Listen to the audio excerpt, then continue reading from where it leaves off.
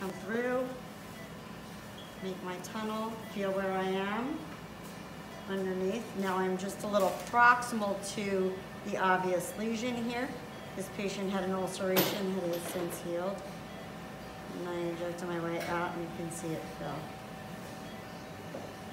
Come back underneath. Now I'm directly underneath. Come back and fill.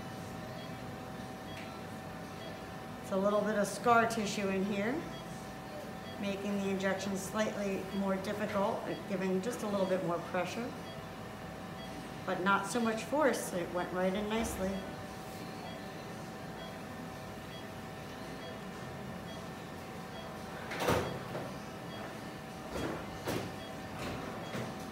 Here I feel my needle right up in this location.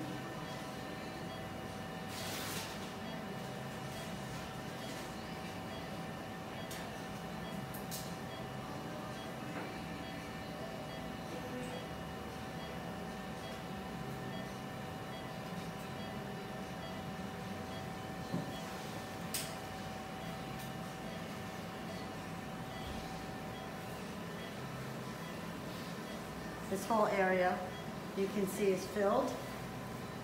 And I will probably just take another and come into this location.